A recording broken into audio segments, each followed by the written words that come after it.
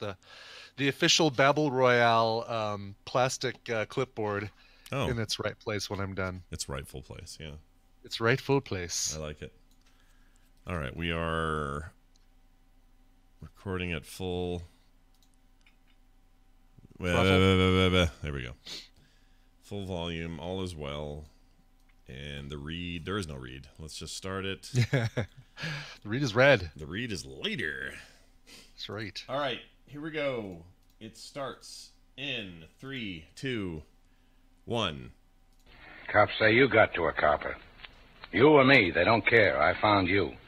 Why didn't I just turn you over to them without going through all this? Maria gave me your address. I could have given it to LaSalle. Why didn't I do that, copper? It's stuffy in here. My name's Lester. I like pro wrestling and beef jerky, and I'm looking for somebody to bang with no rubber while I go through a divorce.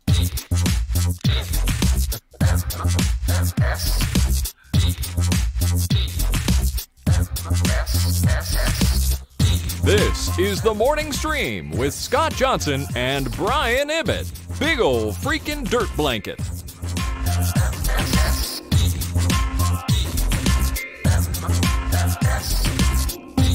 Hello, everyone, and welcome back to TMS for Monday, May 27th, 2019. It's Memorial Day. I'm Scott, and he's Brian. Hi, Brian. Hello, happy Memorial Day to all of you, and remember to memorialize. Memorialize those who uh, uh, died, right? That's the their deal. Lives in battle. Yep, exactly. These are. Do not confuse this with Labor Day. It's, it's more. It's more the people who uh, confuse Labor Day with this, and they put out you know tweets saying, "Hey." On this Labor Day, make sure to uh, remember all the fallen heroes that Mm-hmm. we lost in labor. Yeah, in labor. All the labor deaths that we had. Well, I guess we do have labor deaths.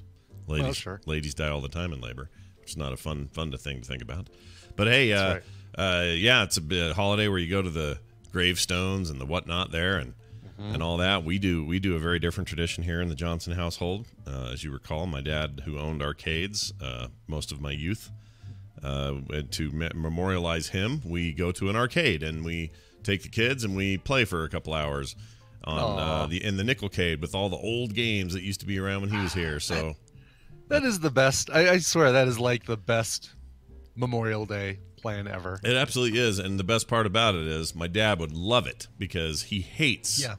people moping around. Being all sad and sure, yeah, exactly. He doesn't That- want people That's putting a- exactly what I want. putting a flower on your grave and all that. He doesn't want. He never wanted any of that stuff. In fact, he even said I- before he died, he's like, "Dude, don't do it. When I that." die, Yeah. here's what I want everybody to do. Well, at least my family. Yeah. Go out and buy a big ass Lego set and uh, put it together. Big ass superhero Lego set or Star Wars giant Death Star or something like that, and uh, put it together in my honor. I like that. That's a good one.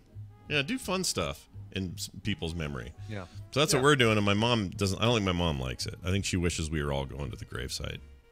Mm-hmm. So I don't know what to tell her. Like we, we, she knows that we do this, but I think it bugged her just slightly. But the games always bugged her. She was never really into the whole video game thing. And so Sure. when my dad had that business, she always thought. Oh, was like- even when he had the arcade, he, she wasn't into yeah, it. she sort of was the whole time was just sort of like, oh, what's this weird fly by night trendy thing?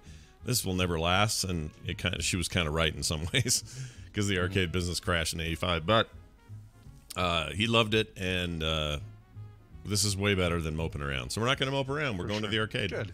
So if anybody's out there in Midvale today, uh, and you happen to be by the Nickelcade near the uh, Fashion Place Mall, we'll be there for at least a couple hours today if you want to say hi.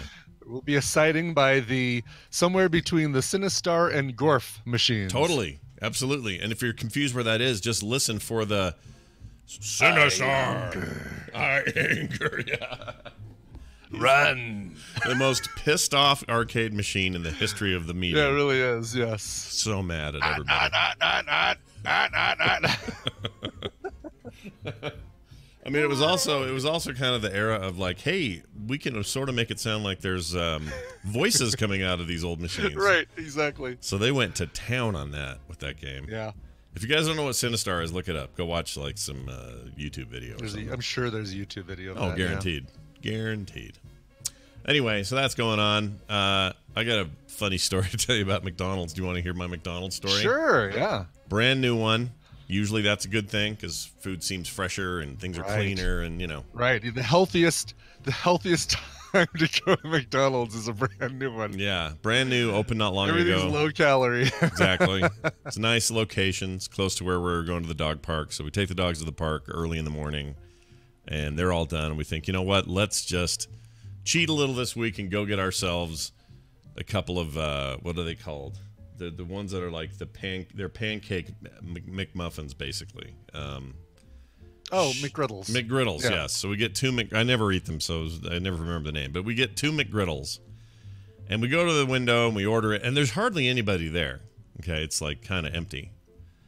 Uh, this early in the morning, so it's not like a very busy one. Plus, it's like I said, it's new. It's in an area that's kind of new, so there's not a lot of traffic around there. It's just kind of chill. So we go to the window, we order our thing. Uh, he says, "See you at the window." We're like, "All right, sweet, we'll see you there."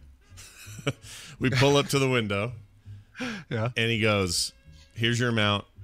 Okay, pay that." And then he says, um, "Here are your orange juices," and he hands us those. He says, "Can you pull up to the to the um, the slot or the the parking space that says um, drive-in number one?" Okay. And we said, "Oh yeah, that's fine. We haven't been to this one very often, so we haven't had to use that before. But you know, they have they have spaces. But you know the you know the drill, right? Yeah, Sure. where exactly your your uh, Big Mac without special sauce might take an extra minute for the Sure. for the In this case, it, minimum wage employee to figure out and in this case, it's probably a good sign. It means the, f- the food's going to be fresh. You know, they're just finishing Yeah. it up or whatever. So we're like, yeah, sweet, that sounds great. So we pull around to where we're supposed to go, and there are three slots. okay. None of them say. There are three slots. there are three car slots. None of them say drive-in number one the way it was described to us because he What- called what do it. they say? He called it drive up number one, and when we got there, there is one that says drive up number two. There's one that says Uh-huh. drive up number three, and then the third one says something totally different that has nothing to do with drive up, and there's not a one on it. Okay. And so there is no drive two or number three one. or four, but one. it's not there. It like doesn't exist. And Yeah. so we're like, well, I guess we'll pull into two. Like, what else are we supposed to do? Is empty, and there's no other. Yeah. There's nothing called one. It doesn't exist. So we pull into two, and we're thinking, well, this is weird, and it's taking forever. We're like, what? There's no other cars. Like, where are they? What are they doing? Right, Then, out of nowhere, on my left side, Kim's driving. I'm on the passenger side. My window's down because it's a beautiful morning. And Yeah. out from the side of the McDonald's runs this very short little Hispanic lady, just a little tiny lady, and she comes running out with like a bunch of bags, like food bags, and runs up to the window. and She goes, "Okay, okay, you have, you have, thir- you have thirty egg and McMuffins." And I said, "I have what?" She goes, "You have the thirty egg McMuffins." I said, "No, I have thirty of nothing." Those aren't mine. I said, Those not, that's not what we ordered. She goes, Oh, okay, okay, hold on. And she runs the other way with these bags of food, right? Like 30, literally, she's got 30 Egg McMuffins, I guess, in those bags. right. Right. Runs back in the building, comes out, and gives us our regular order. But there's nobody in the drive up. There's nobody in the other slot. There's nobody anywhere that has ordered 30 McMuffins. It's it's almost like they've been waiting for somebody to finally go into into spot number two. The, for days, somebody had placed an order and they said, "Oh yeah, okay, pull into spot number two, and we'll have your thirty egg McMuffins." And they've just been looking at this pile of bags in the corner and with a big sign on it that says, "Deliver to spot number two. And there's never been a car in there until now. Yeah. And we're like, maybe that is what happened. I don't know. But I, we were just left kind of dumbfounded because who orders 30 Mc- uh, McMuffins unless you got like 30 soccer kids or something like that? Right, exactly. Yeah, you're taking them to a. Uh, taking them to a game or a Yeah. party or something like that. And she never stopped smiling, so I'll give her credit. She was pretty stoked. She's 30 egg McMuffins? You ordered them? Oh, my no, I didn't know. Oh, no. Okay, hold on. Like, she was very just, okay, running around, big smile on her face the whole time. She's probably like, she's not that short. She's probably like five one or something. But she's a good foot and, And a half shorter than me, but yeah. And I'd ask you if you let the person know who brought you the correct order that there's no spot number one, but you and I both know there's nothing that would you know you could let them know till you're blue in the face that there's no spot one and they'd forget to do anything about it from the from the path from the walk from your car back to the door of the McDonald's. Yeah. And I Yeah, and so I did and, and actually for that sort of reason I didn't do it.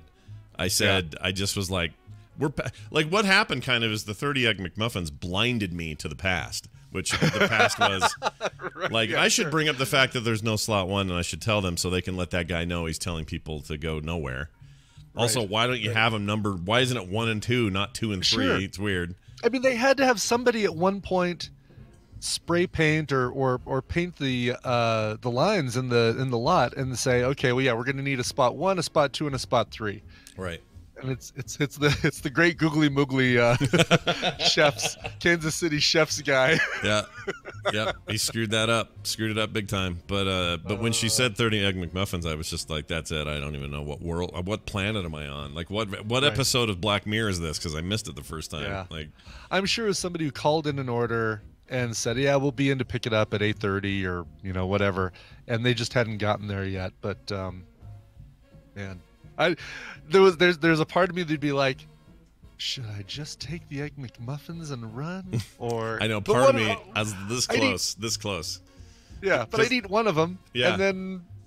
I'd feel guilty about having 29 sitting around like, oh yeah, maybe this wasn't a good idea. Yeah. Oh, that's a good point actually, and I wouldn't have had to pay for it because I already paid at the window for my Right. correct order. So really, Kim Kim and I could have eaten two of those, and then driven around the neighborhood like the great saviors of the neighborhood, going egg McMuffins.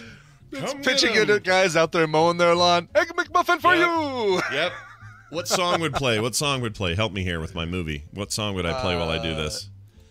Oh, jeez. Like, what's a good theme for a guy driving around a a, a, a there- neighborhood in an '80s movie throwing egg McMuffins at friends? Is there a right like is there an answer you're looking for uh, No, for I'll this? t- like there's a I'll scene t- that I should be remembering? Okay. No, I'll take anything. I'm just looking for a good theme. I would think the the Paperboy theme from the old video game. Wait, let's. I'm gonna find it now. Okay, that's pretty good. Paper Paperboy gameplay. All right, let's let's take a look here. Okay, here All we go. See how close I was. All right, I just, it's been so long I don't remember. All right, there's a player one. Okay, okay, we're choosing. Can you hear that? Yep. It's only coming out of my right ear, but you should hear it. Is he playing yet, or is he? Dude, is this just set up dude, stuff? Dude, dude, dude, dude, dude. No, he's playing. Dude, dude, dude, dude. He just threw one into the yard. Oh, he just yeah, knocked right. a. Yeah, maybe we'd. such a such a dumb idea, but I love it. You put it into the the uh, the back seat of any cars with their windows open on a hot day at a uh, Walmart. Yeah, exactly. That's what you do. That's a great idea. You you put them you shove them into the window of anybody who's left a crack open in their window for their Rottweiler, and you just shove the egg McMuffin in there for the dog to just gobble down and All I hear in my head it's funny when I think of this scenario. All I hear in my head is uh, "Don't You Forget About Me" by uh, Simple? Minds. Simple Minds. So Sure. I've been ruined by that. You had one job, Scott. You had to remember Simple Minds. yeah, you couldn't do that. I couldn't do it. You know what I was gonna say? Uh, who are the guys that go shout, shout, let it all out? Now I can't think Oh, of their Tears name. for Fears. Yeah, I was Yeah. thinking Tears for Fears for some reason. Except I couldn't think of Yeah, their name either. So You don't you don't have to don't forget about Tears for Fears. Although I love Tears for Fears, so don't forget about Tears for Fears. all, both of those bands are great. Uh, Although the first one really only had one song that mattered. Anyway. Well, yeah. I mean, all the things she said by Simple Minds is such a great song, and uh, Yeah. um, It wasn't a big hit though, you know? uh, Jungle Land. Yeah, Simple Minds, man. They they just didn't. They, they basically had that massive hit for the Breakfast Club. That Yeah. massive song, "Don't You Forget About Me," Yeah. and then in the UK, lots of great hits with uh, with them. By the way, Jim Kerr, Mm. who's the lead singer of that band, he looks like uh, he looks like Yakov Smirnoff. Um, he was married to. Um, I think he was married to Chrissie Hynde for a while from the Pretenders. Oh, let's see. Really? Nice at work. least- yeah, at least they were a couple. oh yeah, maybe not Kerr. married. She was married to Ray Davies from the Kinks, and I think she was partners with Jim Kerr. Maybe they had a kid together but didn't marry. Oh yeah, look at him. Oh, Doesn't he he, does look, like, uh, Yakov he looks like a '80s movie Russian guy? Yeah, totally does. Listen, I give you all the cocaine you need. You just le- leave town. You have to leave town. Like he, yeah, he looks Don't great. you forget about me? Don't you? Don't you forget about me. That's right. That's awesome. All right. Uh, Sorry, everyone. Hey, speaking of arcades and stuff, how'd, the, how'd that pinball place go? You mentioned it, I think, on the show, but we didn't. We haven't heard yet. I did. I and I uh, threw a few photos up on Twitter. Dude, this this was amazing. So it was uh, down at the Denver Tech Center Marriott, Mm. and um, it was so packed in there that you had to basically park across the street and walk walk over to the thing. But it was a, a big old ballroom filled with, I'd say, I'd say 75% pinball machines, 25% video games. And there's a lot of companies. Basically, the whole center of the ballroom were rows and rows and rows of pinball machines, about um, five rows back to back pinball machines Yeah. and all set on free play you just walk up to any available machine start playing or if there's a specific machine you want to play you wait and uh, play it as soon as it frees up. They had brand new machines. There was a willy wonka machine that had a line 10 people deep that is like oh that'd be cool to play but you know i don't want to sit around and wait for for 10 guys to play it.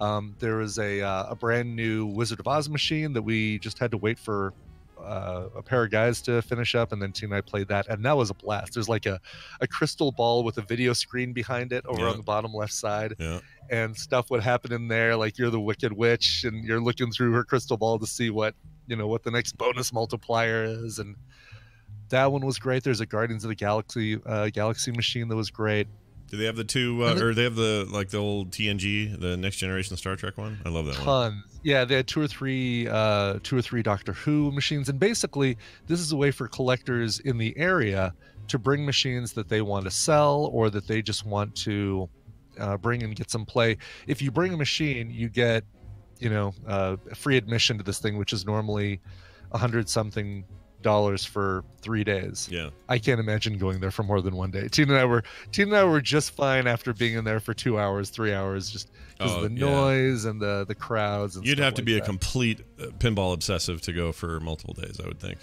I think so. Yeah. I mean, uh, and and you know, we met up with some obsessives who are really really cool.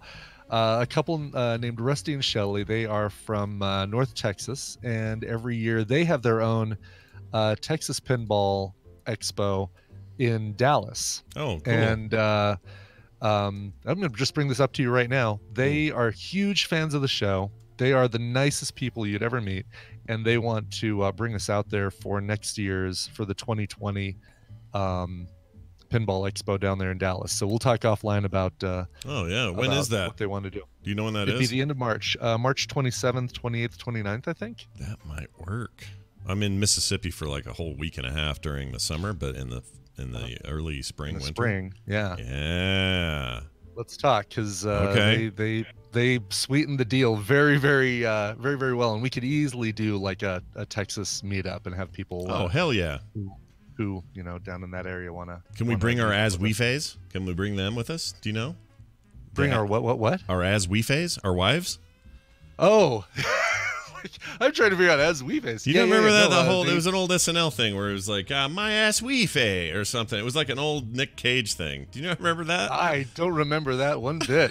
yes, All right. not one bit. Okay, I don't somebody will find a link to that. Yeah. But uh, yeah, yeah, our wives are invited. They they had a great time. But they were actually giving us all the dirt on, um, on pinball. Man, there is a lot of drama in the pinball world, in the video game and pinball designing world, and I can't get into any of it on the show because it's kind of. Uh, I just promised I wouldn't say anything, but I'll just tell you, there's a lot of drama. Um, we also met the guy who uh, designed the old uh, Black Knight pinball machine for Oh, Williams. Maybe the which was- greatest game of uh, ever of pinball. That's what I told him because that game, I dumped so many quarters into that. It was so, uh, Man. it was so monumental at the time, being the first game that had the multiple level. Like you had a Mhm. ramp to go up, and and you had flippers on the upper level to try and knock out the targets and stuff. Um, Amazing Dude, game. I loved Black Knight, and we played Black Knight, and and just brought back all those feelings. We played Firepower, which was another another pinball machine that that I loved as a kid, um, and then lots of new stuff. I mean, it was it was a blast. We did a lot of uh, a lot of of pinball playing, and it seemed like you maybe didn't get to go into the go right to the machine that you wanted to play, but there were several machines around. It's like, oh, you know what? I've never played this one. Let's go play it. I'm like, okay, yeah, oh, played man. pretty cool Spider-Man game. played the Johnny Mnemonic. Oh, I was going to ask you about the Johnny Mnemonic. So did you actually play it or just notice I it? actually played it, yeah, Okay. and uh, I was really hoping there'd be like "Hold sinners" and stuff like that in there.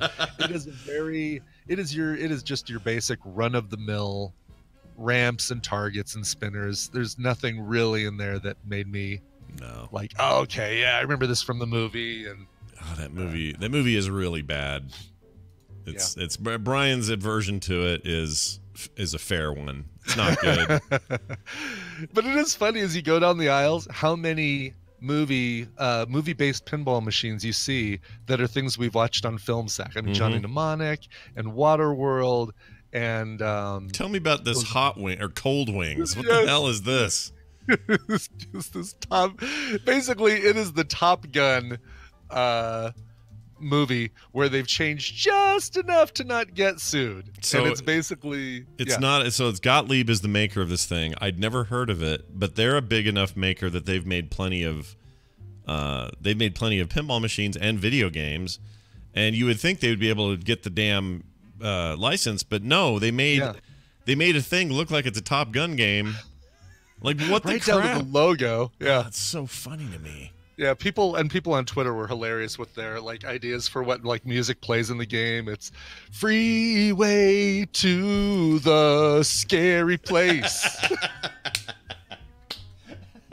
Gonna take you right into. It's amazing.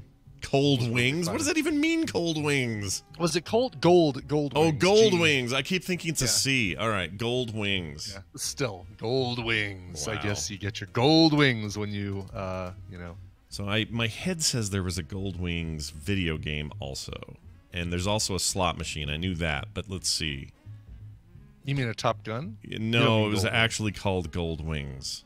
No, it's Huh. not. I was wrong. It's just the pinball machine. So they have a pinball I mean, machine and they have a Vegas machine or a, sorry, a um, slot machine and that's it.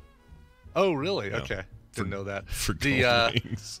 gold wings. I mean, it's like it's like they said, uh, draw a line between Top Gun and Iron Eagle. Come up with name, and we'll make game based on property.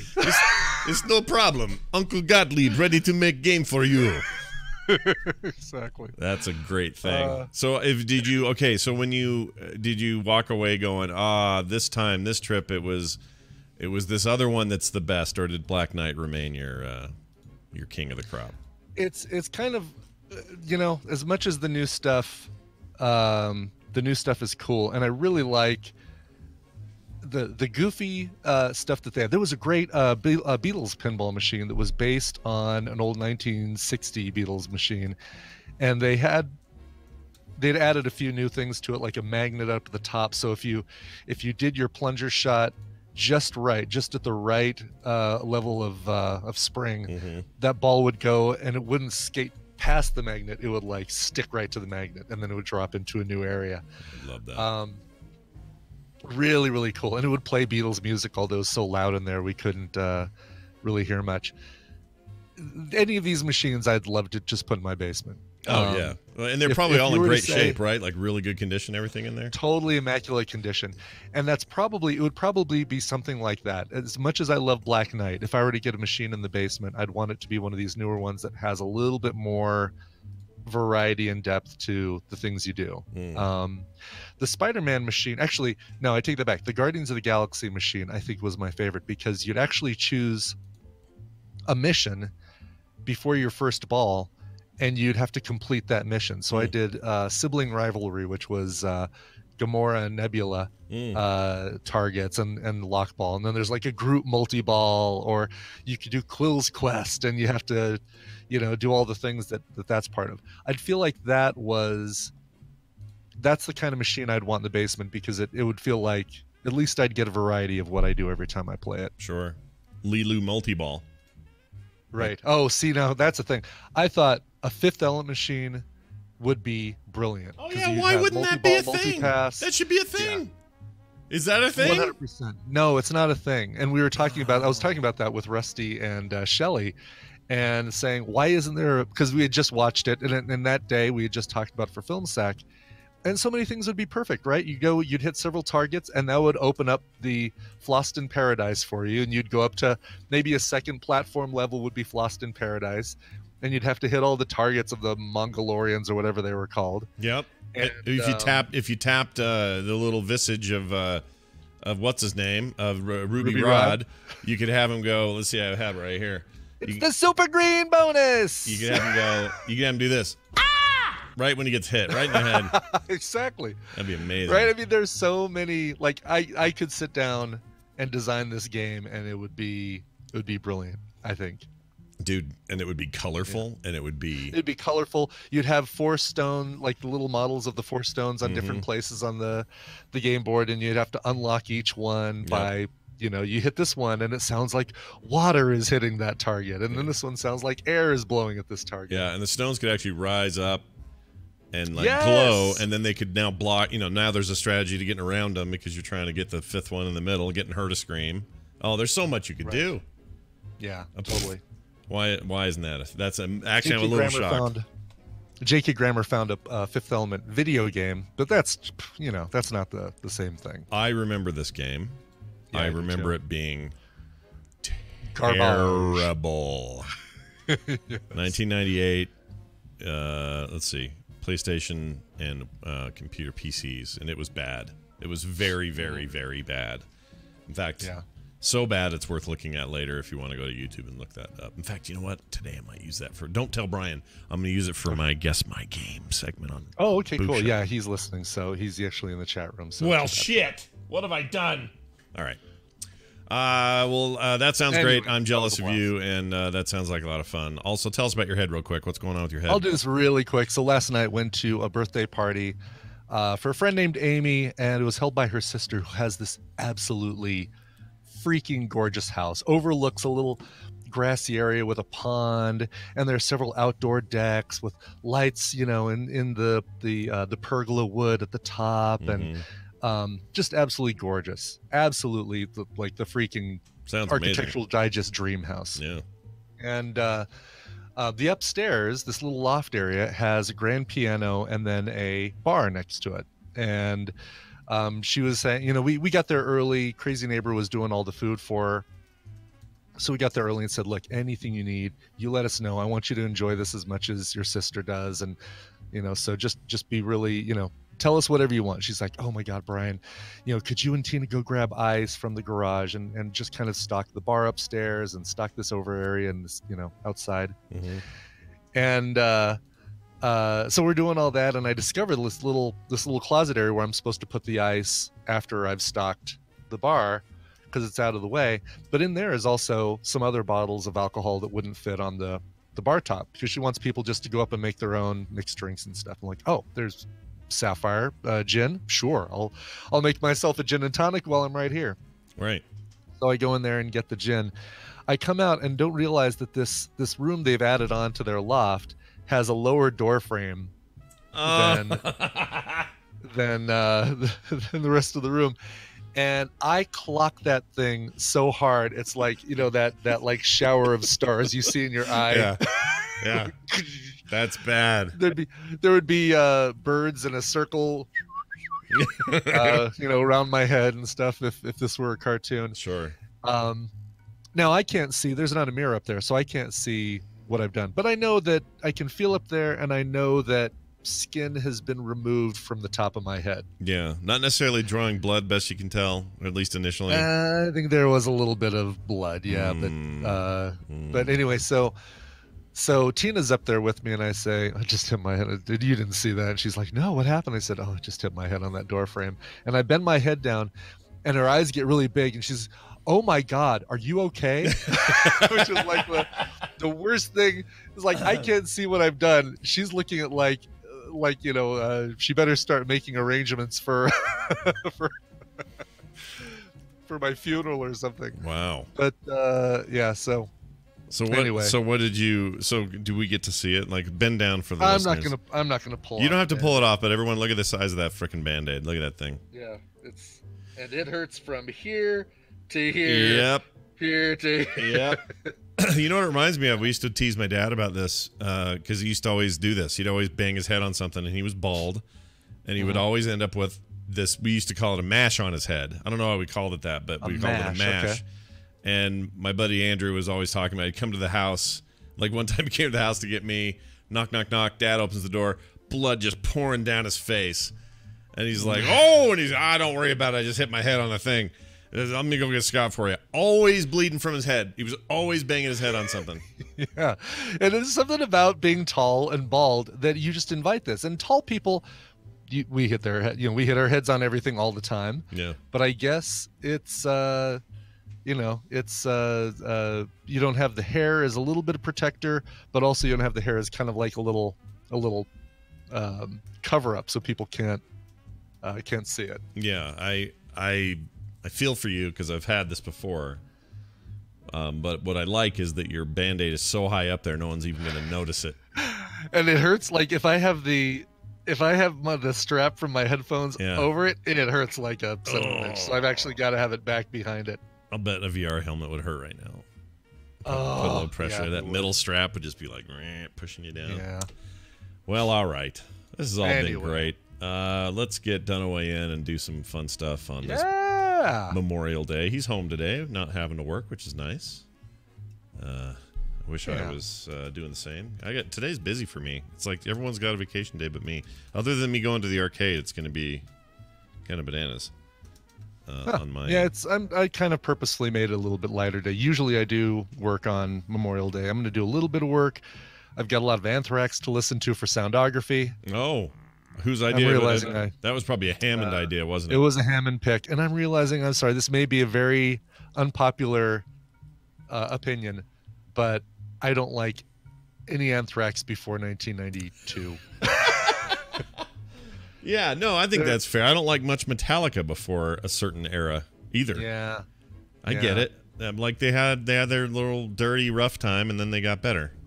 yeah, So- exactly. I mean, there's there's some things. I'm sorry, 1990. So there's a couple things on Persistence of Time I like. Yeah. I'm liking a couple things on Sound of White Noise. I'm really having a hard time with this this week. I like finding stuff that I like, but eh, you know, get this is. Hammond's way of trolling you, is my opinion. I this totally is. way it is. So I'm yeah. gonna make him listen to. uh Well, we already did Spice Girls. I'll figure out some way of torturing him later. Yeah, you can get him back. Speaking of torture, hey, it's Brian Dunaway. Good morning. Oh, hi. New setup. Who dis? Oh, hi. Ooh, you're quiet. a little quiet. Yeah. A little quiet? Yeah. How about now? But Is you- it more? Give us more. Less? Give us more. It's Oh, my God. hold on a less quiet. Less quiet. Yeah. That would be less quiet. Brian Holmes. I Getting got it, I better, got getting got it, I better. got it. Chill out, chill out, chill out. I got it. I got Getting this. better. I got this. Getting better. I got it. I got it. I got better, it. Is it better. better? It's better getting Better? better. I feel Let it me- getting let me try better all the time. Let me let me try this. What about that? Does that help any? that is much better. Oh, you sound great. Yeah. Yeah. Well done. oh, interesting. Yeah. Interesting. Good job on Huh. that. Yeah, you did it. You nailed it. Uh, hey, it's uh, it's Brian Dunaway. What's what's going on, man? What's life like where you're living? What's going on over there? Oh, hi. It's Memorial Day, so I'm remembering people by uh, not going to work. Oh, that's fantastic. Perfect. Well, guess what? Perfect. We got somebody calling in right now to do this as well. Hi, who's this? Hi, this is Rory Kopp in this chat room. Well, hello, Uh, Rory. Did you say? Roy Kopp. Oh, Roy Kopp. I'm uh, Oh, the Roy husband Kopp. of one of the podcast contestants. Gotcha. Oh, hi. Nice to have you here. Here's this.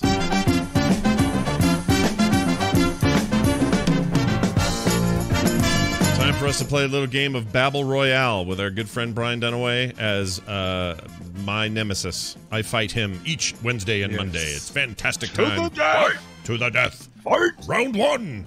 Uh, so we're going to do that in a second. Brian's going to explain the rules and what and what Roy Kopp could win on this fine Memorial Day. Brian, take it away. That's right, Scott. I'm going to be giving Scott and Brian Dunaway a topic, and they're going to go back and forth with answers for that topic.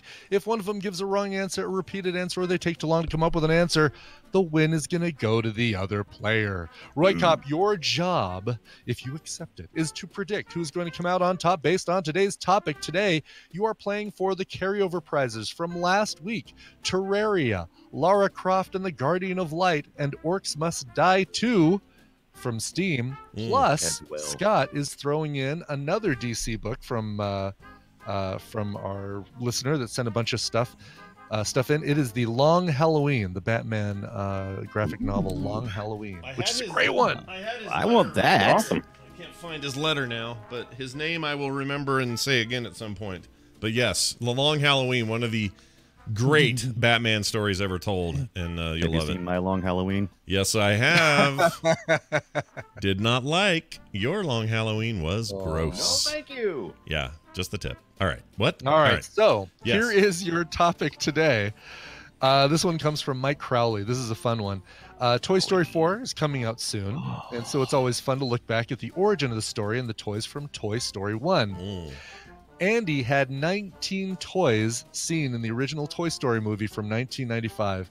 Uh, you had your primary and your secondary toys, but you know I'll, I'll take any any of his 19 his Andy's 19 toys seen Oh in my the original Gosh. original Toy Story movie.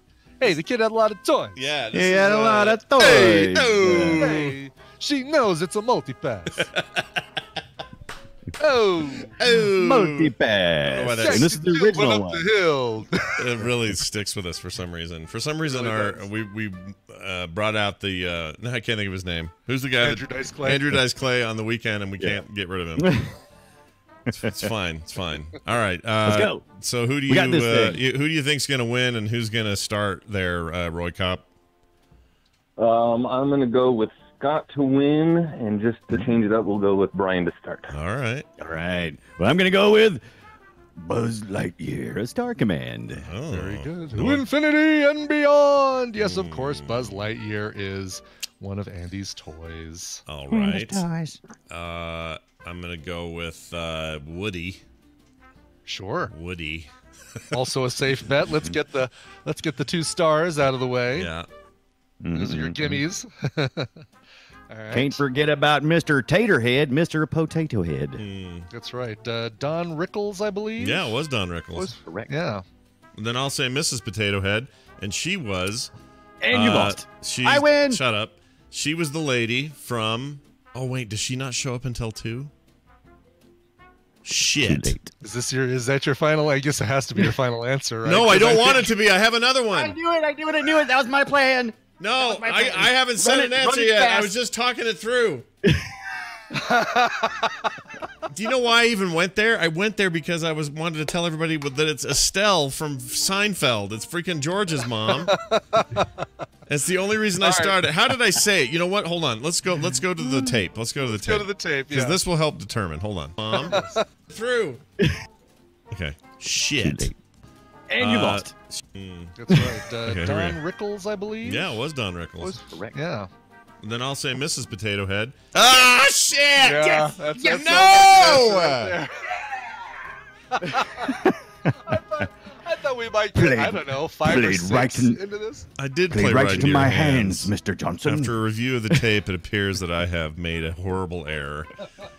Uh, Roy Kopp, I'm an idiot. You should have won this today, uh, and I am horribly uh, embarrassed. All right, I want to at least mention a few that Yeah, I know redeem- I was redeem going yourself. oh yeah, yeah. Uh, I would have it. said Rex the uh, Rex the dinosaur. Yeah, Sure. and who does Yeah. that? Inconceivable. Uh, That that's is, uh, yeah, Wallace Shawn. Wallace Shawn, right? Uh, Slinky the dog, played by uh, how's it going? Jim, Jim Varney. Jim Varney. You know what I Varney, mean? You know what I mean? Uh, you got uh, uh, the uh, lady uh, Bo Peep. She's in this. Uh-huh. Yeah, yeah. Uh, I was almost, I almost couldn't remember. I'm like, Bo Peep was in this one for sure, but I couldn't remember. I was just like, Ugh. Yeah. Uh, let's see. Now I'm starting to run out. Who? you get Cliff. Come on. oh, Cliff Clavin played the pig, the penny, penny uh, piggy bank. Yep. Big Bang, Ham. Um, Ham. Ham is his name. Ham, right? And then hold on. Uh, who was that little muscle guy? Oh, I don't Uh, know, but well, you can't. okay, the army men front and the Yeah, you can't forget Sarge, Yeah, Sarge, Sarge which the was army Lee, men. uh, Remy, right? Those soldiers. Yep. Yeah. Gosh Yeah. dang it! Look how many I would have had. I know. Here are the ones you could have said. Uh, Sarge. Uh, Speak let's see. RC. Mm-hmm. RC. Oh, what's that? RC Was it? is Wasn't the, he speaking? RC was he? Yeah, he he saved him from the truck. Do you, do you know how many times I've seen the first one? l- many million times. Yeah. Yeah, Yeah. and I don't think See and Say. I think you're thinking of Etch, the Etch a Sketch. Is that? Yeah, that's right. Because they he got the meeting together, and uh, it, Woody did. Wasn't there a speak Right. and spell? There was some kind of speak and spell in this. Yeah, because he Oh, got here it them is. I'm sorry. Yes, uh, Mr. Spell, a toy with a built-in keyboard, speaks words that are typed in. Right. Yep. Yeah. They wasn't branded though Uh, because they, they wanted to brand that Right. thing. They just right. did it. Rocky Gibraltar, uh, Lenny are the wind-up binoculars, the Magic Eight Ball, Mr. Microphone, um, Oh, Mr. would've thought of Shark. Uh-huh. um, the robot. Was Wheezy there yet, or he didn't show up until two? That was that. Yeah, Wheezy's Right. the guy that Yeah. he's the he's the dude at Pixar who passed away. Sadly, he's awesome. Right. Yeah. Uh, Snake, Troikas, and a troll doll that appears in the first two Oh, films. Oh, that troll The, doll. uh, Yeah. The, the the catch was seeing if I, either one of you guys brought up the aliens from the Claw game. Oh, yeah. Ooh, that wasn't Andy his. did not own those toys. So no, although they ended up being his toys in two because in two, yes. they hung around. Yep. Right, The claw. Exactly. man. I feel so dumb. Honestly, that was my brain saying, "Oh, I also know an actor who played a character, Mrs. Potato Head." But I I get the I get the inclination to go with Scott for being the Toy Story expert because he does like Toy Story three and I do not. Uh, so you true. may think that I do not like Toy Story, but I have such a passion for one and two yeah. that uh, You're it's- also it's- insane about three. You're insane. yeah. Well, I I, purchased I purchased about five hundred dollars worth of Toy Story toys when the first one came out, and Andrew currently. My oldest child currently has them. We kept them all in the boxes. Mm-hmm. Uh, Can, removed the can I point out the irony too that Right. um, buying, you know, and, and I'm sure 500 bucks is an exaggeration, but I'm sure it's not No, much an exaggeration. it was not an exaggeration. These are licensed versions of toys that cost, you know, 40 bucks. 490 499. Right, exactly. You could have had all the toys in Andy's room for about 40 bucks. Yeah. if they weren't the licensed versions of the toys from Andy's. We had about But- we had about four we had about four different Buzz Lightyears. Uh, even the very first one that came out with like Wow. the yellow yellow band instead of the uh, later one that was Oh. the blue and white band. Yeah, right. I remember that. Oh, that's so funny. Those are uh, hard Was to get. Wasn't Zorg the the villain in that one too? Two. Or I remember? That was in two. Well, he, Uh, he there, there was there was there was mentions of Zorg in the yeah, first yeah. one, but he you was he was talking all about how until he's he would have had escaped him. He didn't know why he was there. He needed to get out of Andy's room so he could go back to fighting Zorg. Like that was a theme through the whole thing. Zurg. Okay, or Zurg, Zurg, rather. Zurg. Zurg. Because we just again, you know, Fifth Element, Zorg is the villain there. So I kept thinking that Zorg was also the name of the villain in Toy Story. Right, But you get right. Zurg and Zorg. Yeah, Zurg, and then which throws me off because that's a StarCraft uh, race, so that's weird. Right. But yeah, well, then he Zurg, Z U R G. Right. Wow. Oh, I'm. I think a great. Here's an idea for a cartoon if anyone wants it. Zurg versus Zorg versus Zurg. Oh, I'm in. I'm in. I like it all. Uh, all right. Well, uh, and they're all they're all giving each other mail that was incorrectly delivered to the wrong guy. yeah, indeed. I like that. And you could have Cliff Clavin in that one as well, just to just because he's Cliff. Hey, check this out. This is for me. That's because I lost. Uh, hey, uh, that means that you can try again one day, and uh, perhaps then I won't be so stupid. Uh, but thanks for playing along. Oh my Not gosh. stupid. It was pretty stupid. I, eh, I no no I I'd actually thought about it when I had said Mr. Potato Head and I was like was Miss Potato in the first one I was like no because I remember being very excited in the second one when she showed up. Georgie. oh, she's so good. She's Yeah. still with us, right? She's still around. She's still. So's Ben. so's Jerry uh. Stiller. I'm pretty sure they're still with us. Those two. Right. Yes, I think so. I think Jerry Stiller. Last time I saw him was looking pretty rough, like all slowed down and kind of. Uh, maybe Well. maybe dealing with some early business, but that dude's old. 1927. Right. If you want to go down a rabbit hole, by the way, uh, look, go back and l- learn everything about Mr. Potato Head and how it came to be and how it was originally a potato, and you just bought the attachments. You literally just bought little attachments that you Yeah. stuck into a potato. Yeah, they were like DLC for your potato. Yeah. Yeah, Real bu- potatoes. Yeah, real potato. You'd have a potato, and then you go buy a pair of lips and you'd stick it in your potato, right? Yeah. yeah. Yeah. That was well before our time, but it's it's interesting history. Yeah, and it's uh I mean, think of a toy today. Like would they ever have a toy today where it's like buy some of these plastic bits and stick it in your banana? Like it doesn't make any sense. banana. That'd be wrong. yeah. I want to make a toy so- called "Stick It in Your Banana," Yeah. and it'll just be Mr. Banana Head. right. Uh, all right. Hey, uh, that's gonna do it for. Hey, your are we doing time the here. boop show tonight? Yeah, I- I- if you are, are It's you? really funny you say that because I hope you are because I'm planning on it. Right. Are Me you- too. Okay. Well, well, yeah, yeah. Okay, I'll, good. good, I'll good. be home from. Uh, we're going to that arcade. Should be home before then. Then we do the boob show. Then I have a barbecue at five, so it's perfect. We got it. We do. Well, we're doing if this. it's too tight, Scott, we can move it to another night. But Well, I think we can do it today. I think we're okay. okay, Yeah, yeah. All right. Kim Kim's got this all worked out today. We're doing. That's it. I'm doing. said. I'm. I want you. I'm doing the comic dorks right after this with Stephen, and then Oh, dude. we push Skim to tomorrow because Kim's busy with stuff today. For because she's Well, how about we just do this, boop listeners? We're most likely going to do a show. If something happens, it's okay. Scott's Yeah, very we'll busy. it's know. Memorial Day. Yeah, we'll let you It's know. Memorial Day. If if if Scott doesn't do it, I will definitely be streaming tonight. Uh, don't do not feed the monkeys. I'll Are- do that. Are you gonna do ASMR and uh, uh, eating food on camera and stuff like that? You can do that. That's right. No, Okay. it's, it's actually the game called Do Not Feed the Monkey. Oh, okay. Yeah. All right. Well, I, Brian and Brian IRL. Yeah, that's right. Nice, Brian IRL. Check it tonight. Um, but I think there is going to be one. I want there to be one because Right. I've played some games I need to Me talk too. about. Yeah, there's some good stuff. All right, Dunaway, stay out of trouble. Uh, kiss our collective butts, and I can't find a way to eject you from this call. Why? Party. I'll go. I'm Bye. just- All right. Oh, look at Brian stretching. That looked good. I'm stretching, getting ready for getting ready for Act Two of the morning stream. Oh, Two. oh, that's a good thing to do once in a while. I've been playing a lot of that uh, Beat Saber around the house, and it's I'm a, I'm a little sore, honestly. Dang it! It's really good. You're gonna make me. You're gonna make me break down, Scott, It's and buy really one good. of those Oculus Quests. It's really good, man. The way I look at it, here's how I justified it. First of all, it's relatively cheap, but on, Yeah. on the other hand, this was going to be a year where I was going to maybe have to be forced to look at a new notebook, but Hmm. I've decided no. Not in 2019. and so I was like, look at all the money I saved by not doing that. Now I can get Ah, an Oculus. That's how my brain works.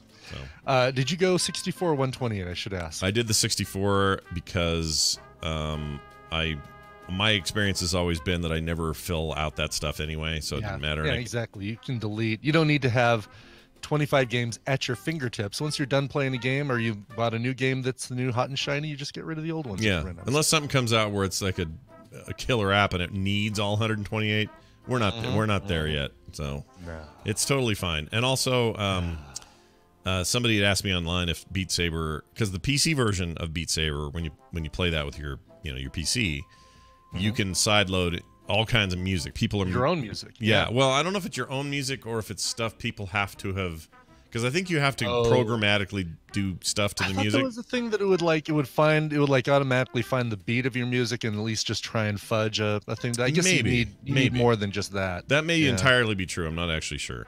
However, I can't find out if I haven't been able to find out if you can sideload or not. So I'm working on that. If you can, great. Okay. We'll see what we can do. All right. All right. Uh, we have time for a couple of news stories, and it starts with it. This is your radio newscaster with another exclusive sensational summary of world and local events. It's the news brought to you by.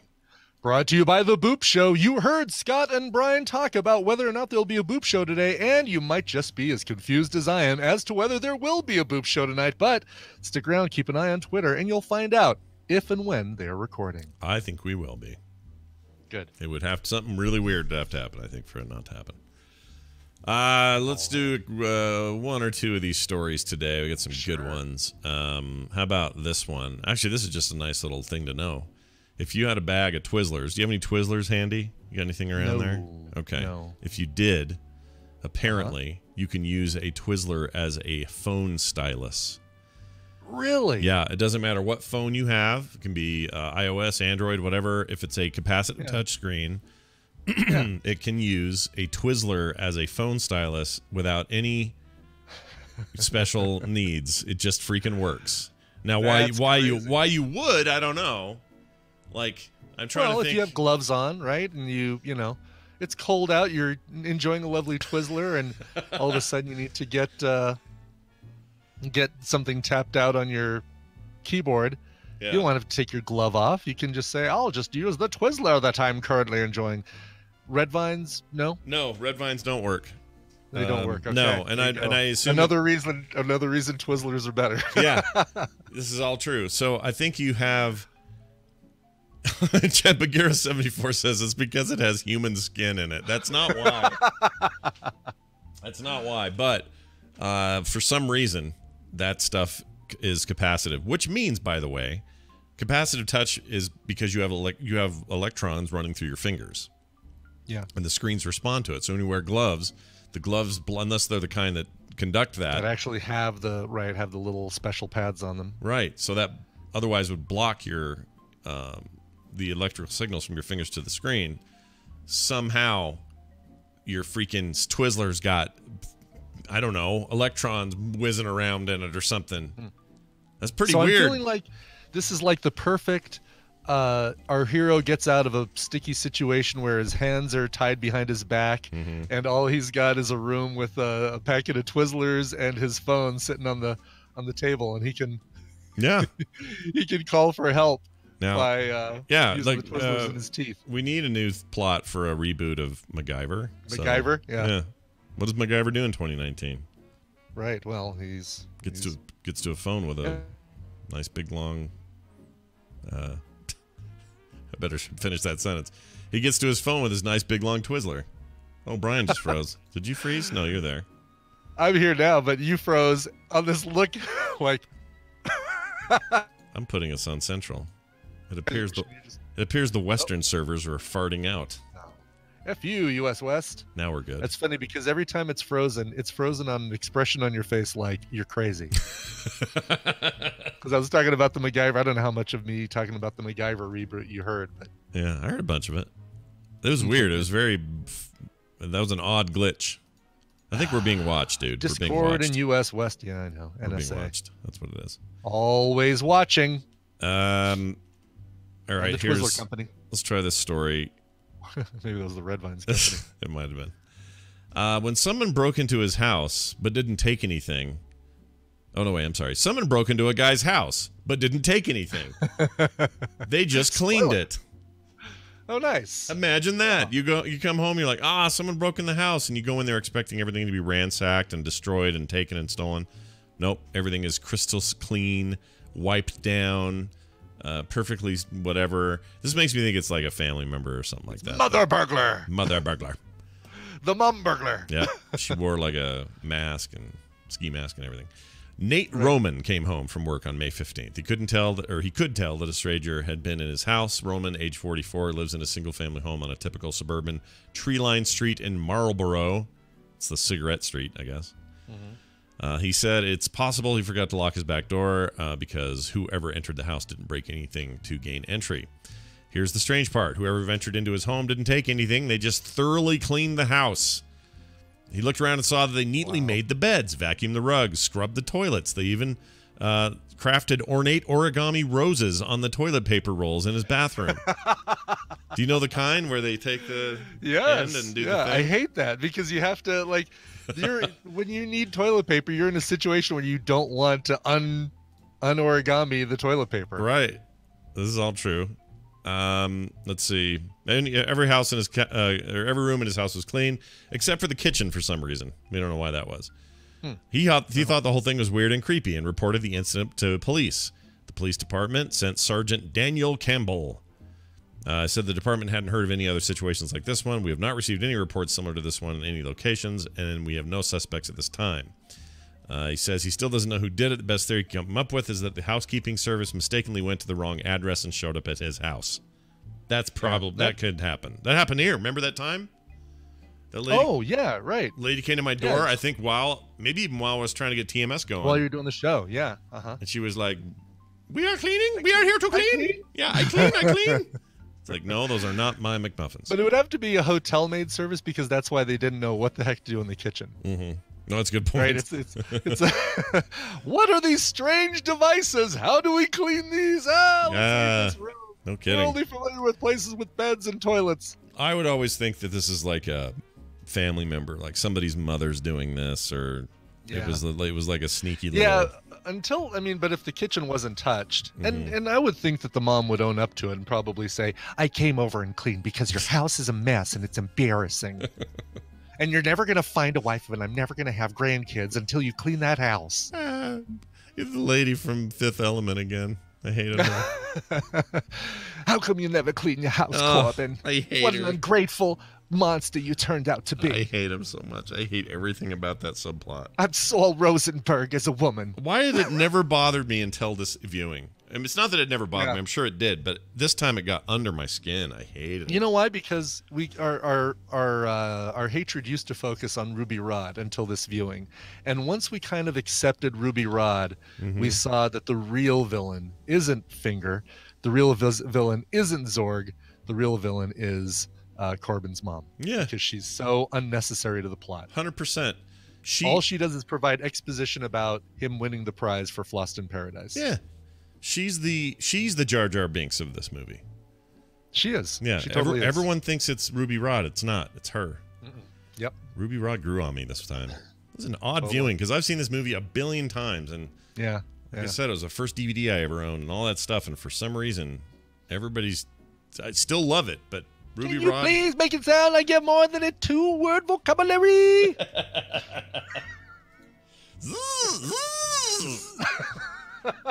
I love when he did that. See, I have him doing that here, don't I? Where did I do that? so. Ah! No, no, I don't feel right. I don't feel right, Kobe. no. Ooh. No, I can't. You do have a lot of Ruby Rod clips, I thought he had him doing it. No, I can't. Maybe I didn't. I thought I got him going. zzz, zzz. I cracked me up. Yeah, I think you just did that when it was my turn to give my uh my intro. That must have been it. All right, we're going to take a break. When we come back, Stephen H. Schleicher III will be here for major spoilers. We're going to talk about a couple of nerd things. I don't think Shrek Nerd's here today because holidays he just leaves. Uh, let me see. Did he answer me? He says correct. Yeah, he's gone. Uh, but we'll talk about that uh, that uh, Picard teaser with Stephen? I think. So Yeah, sure. because it looked real good to me. Uh, anyway, we're gonna do all that, but in a minute. That's not gonna happen until we do some music. So Brian, bring the music. Yeah, so um, a few months ago, uh, actually last year, I played a or uh, uh, an indie in the middle by this guy named Lee Dongju, uh, D O N G J U. He is a South Korean instrumentalist, uh, electronic uh, and guitar combo uh, with some Oriental kind of approach, uh, South Korean traditional music. This is so cool, and um, he has a brand new album called Essence. This is one of those things where you just listen to the whole thing all the way through. Um, but man, you need background music. You need just some kind of cool, cool stuff to kind of listen to while you're getting work done, or or um, uh, you know playing a video game or something like that. You just want some music in the background. This is your thing right here. Uh, this is the song Essence. Uh, it's the title track from Lansden to Essence by Lee Dongju. D O N G J U. Essence. All right, we'll be right back. If you kill me, Copper, you'll never know who murdered your wife. You. You. Nobody but you. The word is they found her in an alley. That's no place for my wife to die in. An alley. It's like living with Worf the Klingon.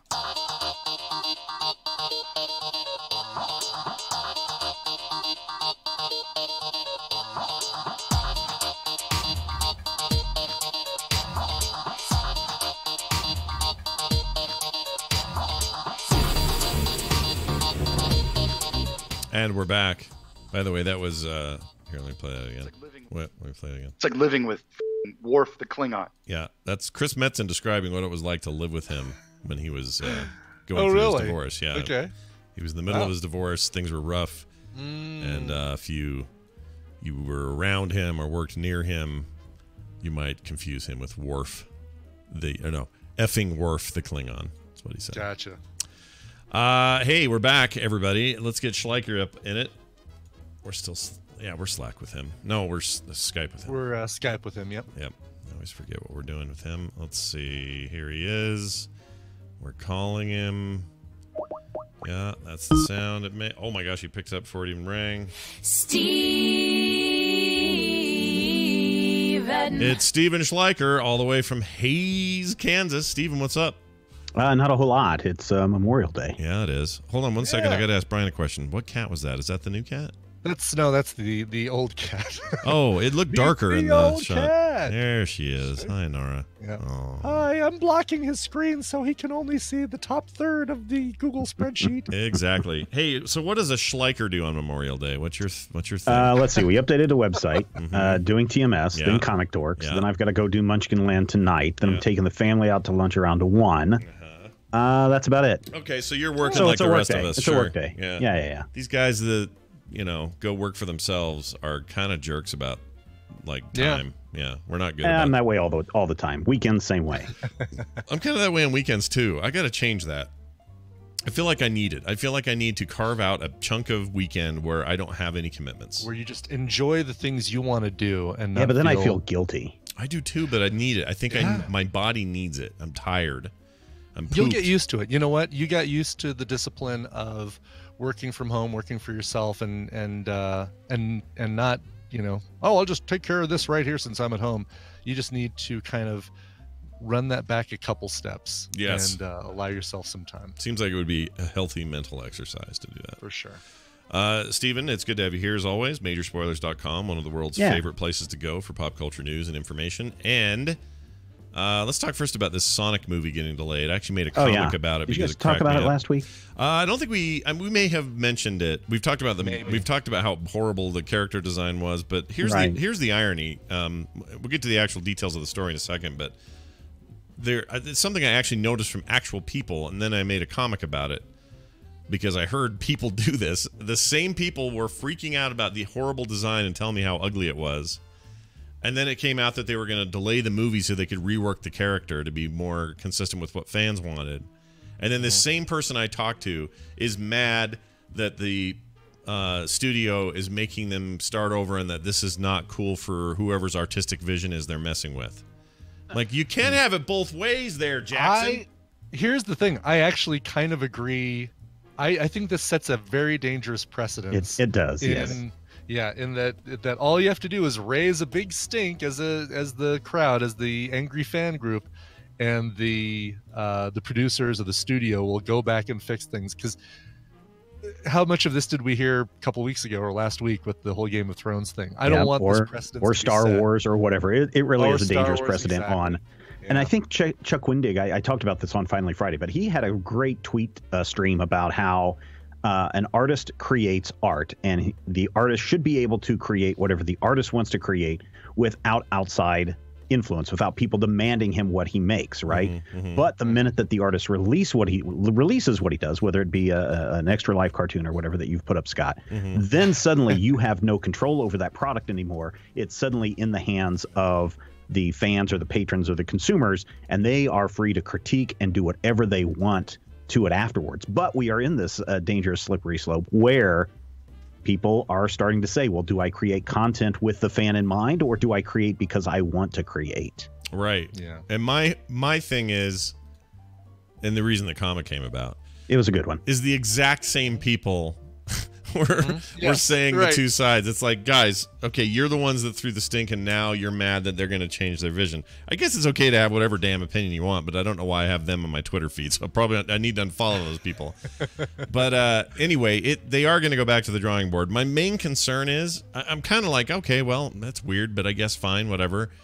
Uh, make sure you know th- what I want to make sure happens, and I don't know if there's even a way to do it, but I want to make sure all the artists involved with original stuff uh, that worked on the team and that will be redoing it that they get properly compensated. I, I'm sure they have been already because when you're working with an effects house, they're getting paid per project and they've already completed the project. They've already turned in the bill. Now it's up for the studio to say, hey, we want changes. And so now the changes are being made and they'll be charged for that. Right. Uh, I know this is only a three month delay from the original release. And I think people are thinking that the movie is being reshot and that, you know, all of the Sonic stuff is being rebuilt from the ground up. They've already got the voices. They've already got the, the any kind of motion capture and facial capture that they're doing. They've already got the lighting set up for all the, you know, for the all the CG stuff. Right. All they really need to do is rebuild the model, drop it back into with the skeletal structure of the one that they've already got, and just re-render everything out and then drop it into compositing. I know I'm being very simplistic on this. It seems like no, but I mean it's exactly what it seems like. All it should be. Yeah. Right. You know, 'cause yeah, and then you've got like- some compositors that'll go in and just ch- double check some layers, make sure everything lines up. So it should just be we're spending three months rendering. Yeah, I I, I kind of agree. And look, I don't. I mean, at this point, they've made the decision, so they're going to do it. Mhm. And I think you're right. Like we're just talking about. Well, it depends on what yeah, how drastic this redesign is. Like if it's oh, I'm gonna bet it's gonna be really drastic. It probably will look like the character from the video game, is my thinking. Mhm. Bigger head, giant eyes, the tails in the back. It's not going to look like a 12 year old in a freaking onesie. with scary stitch teeth. Yeah. yeah, because it's really jacked up uh, looking as it is.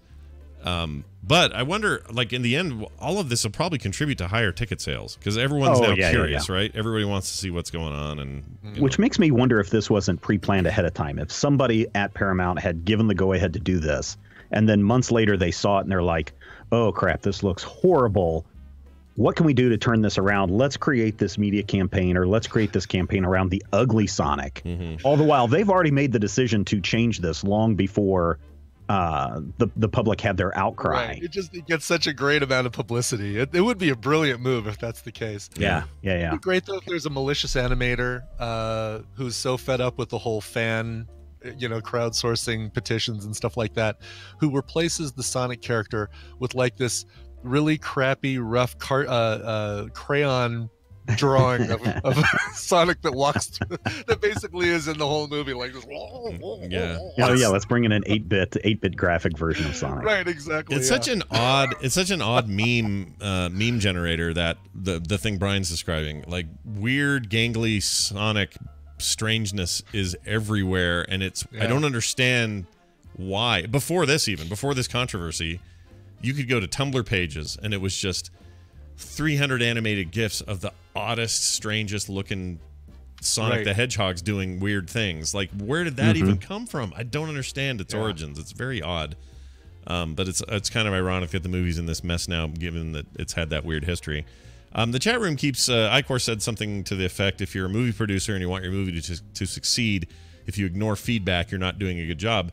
And I would, I could not disagree with that more. Um, there are countless examples of 20th Century Fox leaning on George Lucas to do something, and uh, we would have probably not had Star Wars. Another example in here is if studios listened to feedback, we wouldn't have gotten Heath Ledger's Joker. Everybody was so up in arms about Heath Ledger and his role, which leads nicely into our next story. But, uh, you know, everybody was sure that was a huge mistake. If you listen to people talking about the news before it happened, we would have never gotten that incredible performance. And really a better legacy for him than he would have had had they not used him. So I I just I cannot disagree more. I think artistic vision matters.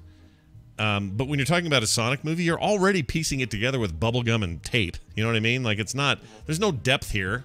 It's Sonic the freaking Hedgehog. It's an answer to Well- Mario. It's just it was Sega's way of going, ah, look, our guy, our little man is fast, not like Mario. He's slow and lame. Sega. You know? Right. So, but on the other hand, on the other side of that, they do have test screenings of movies all the time, uh, where they'll have the test screening audience come in, watch the movie that they have, and then the audience will go, "Well, I didn't like this part, or this part wasn't clear, or this wasn't understanding," uh, and so sometimes that requires them to go back and do a reshoot. Sometimes that requires them to go back and re-edit some things. Sometimes it requires them to remove entire scenes altogether. So for I don't know, probably since the the mid '60s when they started doing test audiences, uh, movies have always kind of been a by the committee kind of process, uh, which is a lot different than maybe an indie creator like a Kevin Smith or a Quentin Tarantino in their early days, where they did have this autonomous control to do whatever they wanted to do. But once you get past a threshold and you're dealing with, you know, 50, 60, 100, 200 million dollars, then yeah, it does really kind of come down to a committee process. Mm-hmm. And that's, you know, whatever. Design by committee is a way to do things, but Yeah. Doesn't always end mean up it's with gonna be good. Too too often you end up with beige. yeah, I'm going to go on the record to say it sucks.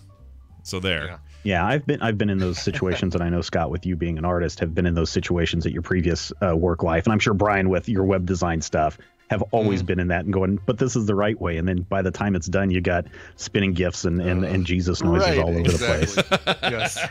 Yeah, no, you if you compromise your vision, fine, but just know that you are, you know, like you uh, like if uh, people someone in the chat says, "Hey, these movies, you know, they get test screened all the time and then change endings based on audience responses." No, I'm not saying that doesn't happen. I'm saying Mm-hmm. did it really make it any better? Like did we get much better out of it because uh, Butterfly Effect had four endings or whatever? Like, did the one they used was Right. that the best one? I don't know. It's arguable that the one they threw away was the best one. So, When you allow for creative control, you end up with folks like Bob Dylan and Prince. When you uh, require design by committee, you end up with Kelly Clarkson and Ruben Studdard. Right. And she's a great singer. But She is. But She she's is. a but she's she's controlled by everything but herself. Well, I shouldn't say that. She may be a full yeah, control maybe, of her maybe career, she's but not the best. Uh, Clay Aiken. We'll say Clay Aiken. Okay, Clay or, Aiken, uh, that we'll works. say- Right. so uh, I, yes, I don't. I mean, Sidian says yes. Studios using test screenings on the whole massively improve the end product. I don't know. I don't know where you get that. I, I, I that's possible. It's possible I'm dead wrong on that, but I don't know that any of the by committee or by test screening solutions have ever done that much. to improve anything. I think stick to your guns and go for it. And maybe that you know, look, the Sonic guy or whoever's in charge here, like it's pretty hard to it's pretty hard not to say how ugly that thing is. Mhm. But maybe if you just stuck with it, it you know we would have all been surprised in the end. I don't know. Or maybe this thing's garbage from the beginning and it won't matter because it's a kind of an empty-headed dumb thing anyway. Like Sonic the Hedgehog is kind of empty-headed. It's kind of nothing there. It's it's there's not a lot I, of I wonder. to it. I, I wonder, you know, everybody had such really high hopes for Detective Pikachu because the the renderings and the art and just the whole CG stuff just looked, looked brilliant and wonderful. And all of this controversy about Sonic occurred before that movie released. And now, from what I hear, Brian, I think you went to see the movie. There's not much of a story in the Detective No. Pikachu stuff. No, the the movie is uh, way more of a Where's Waldo game of looking in the background and saying, "Oh, look, there's an Apom or there's a there's a Blinkasar." You know, I'm kind of making up names. So here, I but- wonder if the I wonder if the pre-hype of Detective Pikachu had Paramount nervous because they're like, oh man, we need to be doing Detective Pikachu numbers, and now two weeks later, maybe they're thinking, well, maybe it's not such a big deal after all. Yeah. Yeah. Well- yeah, I'm hearing the same thing about Aladdin too. That basically nobody should go see it, and it should just be avoided at all costs. Movie draft. Yeah, yeah. that you should just basically not not bother with uh, ticket sales, and maybe just go see Endgame again. Yeah, I don't know, get- 110 million dollars over the weekend. I know it did really well, which bums me out. Just for our, but uh, for our own selfish version reasons. Right, exactly, I'm yes. glad that it's doing better than people thought because I actually kind of like this stuff. I, I don't have a problem with Disney doing this. I'm looking forward to Lion King the most. I think that looks like it's perfect for this sort of treatment. Um, Yeah. As bad as those trailers for Aladdin looked, apparently it's not nearly as bad as those trailers would have thought. There's still mixed reviews, but you know, Tom Merritt, who's pretty, you know, pretty straight up about his reviews, says, "Yeah, I saw it, and it wasn't as bad as everyone thought." And he says, Yeah. "Will Smith, everyone's worried about Will Smith. He says he's the best part of the movie. He's really good in it." Hmm. So, you know, withhold your judgment, folks, until you sit down and watch the damn thing. Yeah, yeah, yeah. Uh, tell it. So, okay, so that leads us to the other thing. The Pat- big controversy, Pat- the big Batman controversy. Yes, Pattinson. Everyone's sure this is going to suck, and it's a terrible so, idea. Okay, so that that may be a thing, and uh, again, we talked we've talked about this a, a couple of times that people are really upset about Pattinson because the only frame of reference that they have him for is the Twilight, movies, right? Spark and maybe the the Vampire, Cedric uh, Cedric Diggory from uh, from uh, Harry Potter. Yeah, he's done a bunch of other stuff, but nobody's seen it. I guess. But let's just say that Willi- uh, that uh, Robert Pattinson had been in a movie that just won a major award at the Cannes Film Festival Hmm. as an actor. Would that suddenly change your mind? Because there is a the movie yes, that has won the award is called The Lighthouse.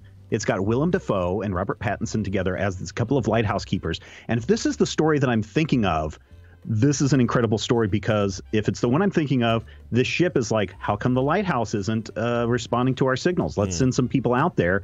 And they get there, and there's no sign of anyone on the island. And it was supposed to be these two lighthouse keepers. And then as they try to piece the story together, it may have turned into a murder suicide mm-hmm. as these two torment each other throughout the entire story. And if that's what this movie is, this could be really good. And of course, it's the director who won this, but the director wins awards not only for the choices in editing and the choices of camera shots, but also how well they're able to direct the actors. And if the actors are doing that good of a performance to get the director an award, then Robert Pattinson may be this uh, this Dark Knight horse that people uh, that people want. Dark Knight Uh, Horse. I see what you did there with Dark Yes. Knight Horse. Yeah, because you could have just said Dark Horse, but you said Dark Knight Horse. I like Right. it. Night in the running. Yeah. Yeah, that was all yeah, right. so I don't know. I, I I'm very interested now in seeing this movie, The Lighthouse, after it's won this award. It uh, uh and so I I think people are not giving Pattinson a chance to to play Bruce Wayne slash Batman. Yeah. I mean, in this picture, they both need sandwiches. This is just one thing I wanted to point out. They're very skinny. Yeah, yeah. Uh, but now you have me all excited about the lighthouse. So I'm kind of not even thinking about Batman and it, anymore. and it's done all in black and white. It's done as this moody period piece. Go look at this up. I, I'm pretty sure I heard either a a lore episode or another one of those uh, historical uh, podcasts recently where within the last year is recent for me where they went into detail about what really happened in this in this story. And i think once you know what the story's about you people might really be wanting to go see this and to see you know how well these actors pull it off. Well, I, I for one, have, have had- since the minute it was announced, have been in the in the position of I will uh, let's wait and see because it could be good, and I really like the director working on Batman, so I don't have uh, I really don't have that any misgivings about him being in there. No. I'm going to totally be open minded because really, a- all you need to do to play Bruce Wayne is be a kind of an ass, kind of a womanizing playboy millionaire ass. And I. Hmm. That's a different take because right- I've always thought of Bruce Wayne as just kind of an aloof, uh, you know, playboy. Okay. Sure. Well, all right. Sure. Aloof playboy. That's my f- Aloof playboy ass. Yes. I I only I only watch him for the articles. Um. Anyway. So you wanted to, you wanted to talk about Picard really quick. Oh yeah, yeah, yeah. The Picard trailer is uh, nifty. Although if you close your eyes and pretend you're just, or no, actually you plug your ears or turn off the sound, it's like you're watching a, a special wine commercial for Northern California Tourist Board or something like that. Until Right. Picard, Picard actually shows up, it's this lovely sort of Mm-hmm. watering the grapes and putting the vintage in the boxes Right. and. and all Come to that Napa Valley. yeah, I keep expecting that to happen, but it's uh, it looks. I mean, there's not much to it yet, but it, I'm I couldn't Right. be more excited. I'm so excited about it. I, I wonder from what Picard said, and I'm guessing everyone's already watched the trailer. It came out last week. Mm-hmm. But I'm wondering, is Picard up for some like war crimes trial? Is that what he's up for? Is that is that kind of the hint? Because it seems like why did you do this? Why were you insubordinate? Why did you go off off playlist and everything? And it just it feels like maybe he's on trial for something. Can't tell. Um, the way they show his face at the end is pretty stark. You know, like Mhm. here's his very grumpy face. It's not a happy Um, Picard. At the No, no. But I love the idea that he was a serving admiral in Starfleet and something gnarly happened. I mean, maybe this thing is really we don't know anything about it, so who knows, but maybe this is him retelling through this Yeah. courtroom thing. I think so. So and if they did this right, they could do a whole Rashomon thing, Star Trek Rashomon, and and uh, really change how you tell a Star Trek story. I think I'd be into it. I, I think. I mean, I just, For I'm the just, last time, there were four lights. I think I think the thing is that I'm so just excited that it exists that I'm kind of on this um I have this feeling of I don't even care. Like it could they could blow this Yeah. for all I know, but I'm just I'm on the other end of the hype train. Where you know, wherever I was with the Sonic trailer, I'm on the opposite side with this. Mhm. But I also know my bias runs deep for Captain Picard and for that era and so Yeah, yeah, yeah, yeah. It's gonna Hey, be I got a couple of questions for you guys if you're up for some questions. Yeah, go ahead. Uh, Brian, have you been up to this? Goes back to the pinball discussion from earlier. Have you been up to eBay and looked at the pinball machines there? I have not. I've. I, I think a while back I went on Craigslist and I went Oh, on right. eBay and stuff like that. I mean, I'd much rather do Craigslist and find somebody local because Sure. No, so the thing I might suggest then is because I've been looking up in the Facebook marketplace where people sell stuff locally, and Yeah. I go out as far as Denver, and there are pinball machines in Denver that people are willing to sell. Now, some of them need some work, but uh, you could, if you're looking for, you know, 70s through the 80s, uh, 90s pinballs, a lot of people are selling those. there are a Now- ton. I, I heard you Oh, mention the Black yeah. Knight uh, pinball machine. They've got three different Yeah. versions of that pinball machine. The the updated version of that. Uh, I think Well- the lowest selling one is like nine thousand dollars. In uh at, at this thing they actually had the brand new version Yes. which was designed by the same guy so there's the black knight 2000 then there was the original Mhm. black knight this new one has like three different versions of just Yes, that's what I'm talking about, yeah. like yeah, Yeah, like yeah, a limited edition version and an exclusive version whatever i didn't get a chance to play the brand new black knight but i saw again long line of people waiting to play those but it looked really really cool And then what do you think about doing a digital? You know, you've got a, a MAME cabinet for your your arcades. Yeah. They also have digital pinball where essentially you're taking a flat screen TV, Mm-hmm. you're dropping it down into a pinball case, and then you've got the bumpers and you've got the the plunger and the uh, the, the the trigger buttons and everything all act as normal, and then it just runs right through onto the video side, which means you can load up a bunch of different Any pinball you machines want. on there. Yeah, I'm all in on that. I know it's I know it feels like blasphemy, but I don't care. I, I would rather do that than have to have the thing break every 10 minutes and adjust the damn thing and Yeah, and I've played one of those, and and uh, it just doesn't. Obviously, it doesn't feel the same. I mean, even if you've got the physics just perfectly down, it just feels. I want I want analog. Um, I know this is it's totally fine for some people and totally totally cool with that, but I definitely want. Um, I guess uh, let me put it this way: I want analog, but I'll take this if I if I if it's if the cost is ridiculous and over the top when it comes to maintenance on the analog stuff. I'd probably be Yeah. okay here. In the same way that I'm okay with, you know, ar- uh, an old car, uh, old arcade cabinet, but with a E LED LED Mhm. screen in there. I don't care. It doesn't have to Oh, be man. a CRT. I don't want to There's deal a with that. there's a there's a uh, sit down racer arcade machine that somebody's taking out of an old arcade in a town near me. I'm not going to say because I don't want people jumping on this. But everything is original except for the screen, which he's replaced with an LED screen. But he's selling it for five hundred dollars. Mm. Huh. And it's and it's like a that's a great- late late 80s, early 90s thing. That's That's a in great great deal. shape. And I'm just like, ah, if I only had the money, I would go buy this like right now. But it's still up for sale. And so How much? Uh, it is. I'm. He's got it listed for 750, but it's been up there for a month now, and I know he would take 500 if I if I offered it for him. Dude, you might. I mean, I'm not saying you should, but maybe you should. That's what I'm saying. I know. I know. Right?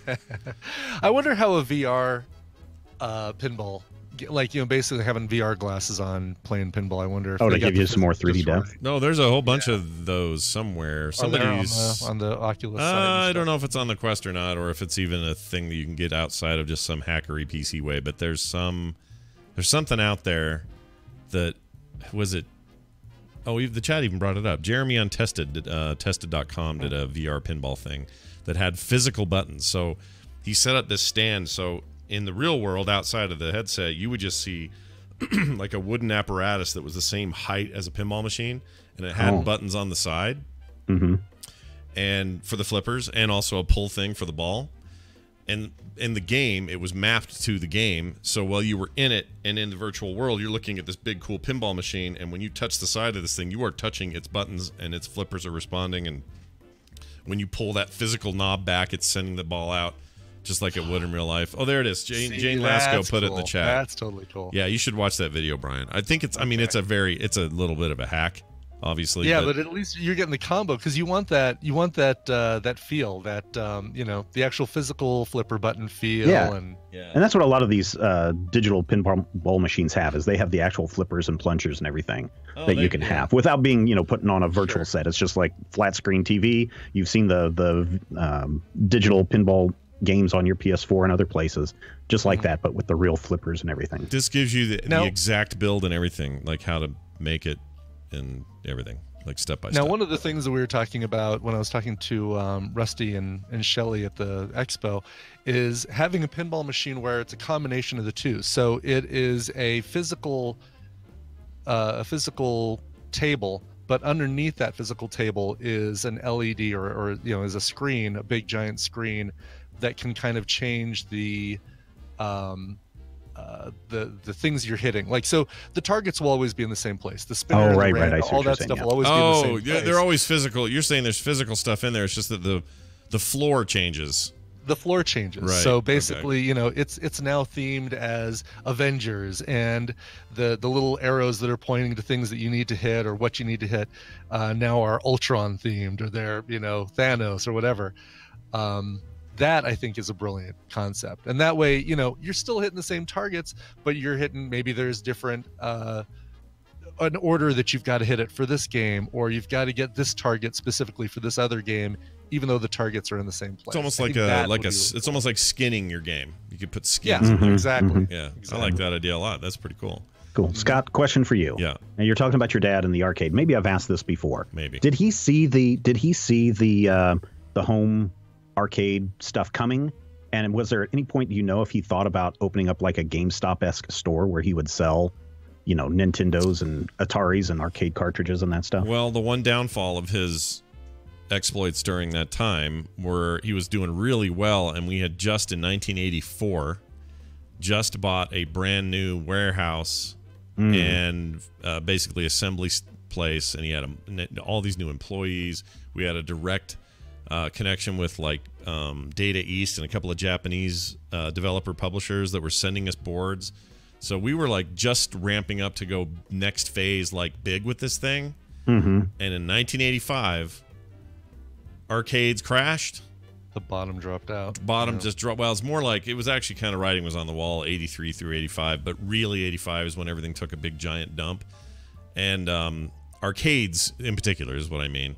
Nintendo. That also happened to be the, the year Nintendo released the Nintendo Entertainment System, and that did not help the arcade world. So his problem was he was fully invested All right. Okay. on this side, and so when that happened, it just tanked everything, and he had to. He basically lost the business as a result. Mhm. Had he was ahead of his ahead of his time in lots of ways. We had the very first It was a game called Zoar. It was a Data East game. But we had the very first arcade cabinet in history, the best we could tell, that had stereo sound. Like Oh, that cool. didn't, didn't exist before. So you had actual stereo sound coming out of there instead of just some monochrome speaker up in the top of the cabinet. That was a big deal. The game wasn't great. It was kind of lame, but the sound was really cool. And then the other thing that was a big deal was he had sketched out, he had the sketchbook full of drawings of a sit down, enclosed, like fighter pilot style arcade cabinet that when you played it, it would rock and move depending on what Yeah. you did.